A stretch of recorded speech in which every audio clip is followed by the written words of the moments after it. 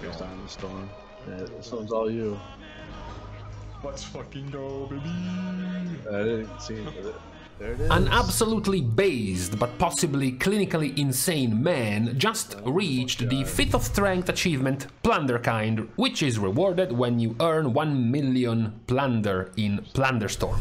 So, this happened a few hours ago in the NA servers. A brave man going by the name of Solar Power reached this feat of strength for the 1 million plunder. Now, this already looks like, of course, a massive uh, sink of time, especially for everyone who has been, you know, going around trying out the new mode by, you know, going solo, dying after a couple of minutes, realizing they made at best 500 plunder on a good day, and realize, holy god, that's gonna take me 2000 games if I want to get this 1 million achievement. This man was able to reach this milestone in 8 days since Plunderstorm was active, so that is about 125,000 plunder achieved each day. And again, to the common mortal, if you're only earning about 500 per match, that would mean playing about 250 games per day. Now, even if you are, of course, dying just about quite early into the game, let's say 3 minutes into the match, or even upwards of 5 minutes into the match, to be able to get this amount of plunder in 250 games would have required you on the low end 8 hours per day of grind, or upwards of 20 hours per day of grinding Plunderstorm. However, of course, when players go for this heavy of a grind, they try to min-max their strategies, and the strategy that was employed was, of course, to not play solo, but to play in a duo. Now, for starters, that's the first advantage you can gain in Plunderstorm if you are going just straight up for the plunder, because plunder in duo matches was just higher you were just earning more plunder. Partly due to the logic that, of course, if you play with another guy next to you, every other player you are defeating or every chest that you come by, you're going to have to essentially divide the plunder for two players. The massive advantage, but perhaps not so popular, is the fact that much of the plunder, sometimes almost as much or even more than you're actually earning from your placement, for example, comes from the plunder on the ground, the piles of plunder, especially after you defeat other players. There is tons, hundreds of plunder to pick up. Blizzard has caught up on this discrepancy. They have just recently, just a few hours ago, hot fixed Plunderstorm to give you 50% more plunder from the piles on the ground if you're playing solo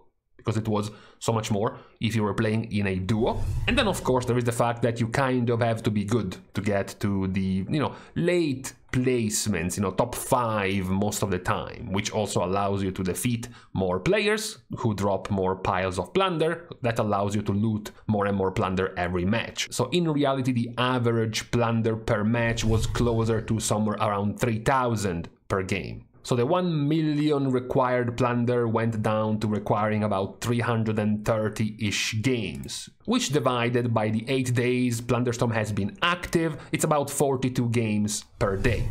Now, considering of course his duo is quite good, so he's gonna go quite deep into every match, not just die 3 minutes in, the average match would be around 8 to 10 minutes for these 42 games per day required to reach the 125,000 daily plunder to reach 1 million plunder in 8 days. So with that average time you would be put at a pretty casual 6 to 7 hours of grind every day.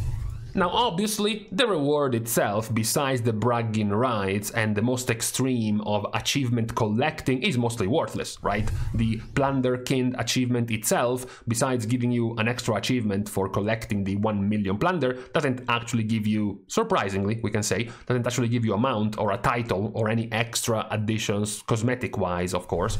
It's just the achievement itself. All of the cosmetic rewards of the event are limited up to reaching 40 renown, which is significantly less plunder required. Which is also kind of funny because to him, reaching renown 40 literally took less than a day, since it takes about 100,000 renown, and he was earning 130,000 per day. That's pretty funny. Which is still, as we have seen recently, in plenty of showings, more than enough for lots of the player base to dislike this event, mostly because of the tying of cosmetic rewards behind a game mode which requires more than 5 minutes of effort. Apparently we have now grown into a situation where most of the players expect many of the, I guess, for fun or just casual activities to shower you in rewards with little to no effort, whether it is skill or whether it is time investment, apparently having absolutely pathetic events like the Hearthstone anniversary where you literally just AFK in a platform and wait for the loot to come to you with zero effort whatsoever is completely fine, but a game mode like Plunderstorm where you actually have to play the game for a while is apparently unacceptable.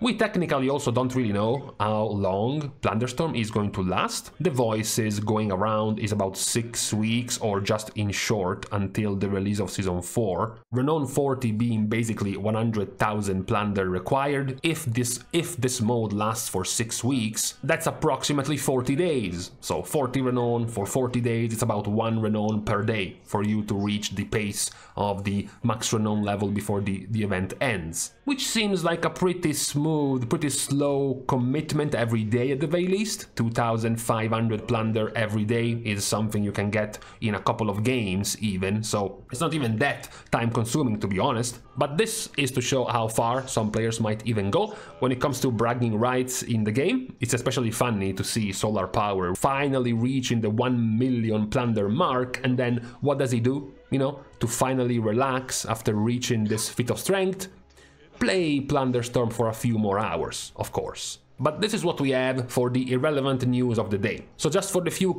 competitive ones left, since this one was in NA world first, we still have the EU first title available to whoever is ill enough to go for this 1 million plunder achievement. But besides this, on this Thursday, we are now leaving each other. We're starting as usual, of course, the goodbyes by thanking all of the Patreon supporters for the contribution and the help to the growth of the channel, which can, of course, also be achieved by doing it for free, liking and commenting down below, as well as subscribing to the channel itself. Now, with these things out of the way, thank you guys again for watching, see you guys tomorrow, and in the meantime, ah, the sound of rain, it's always a welcome background whenever you're chilling at home.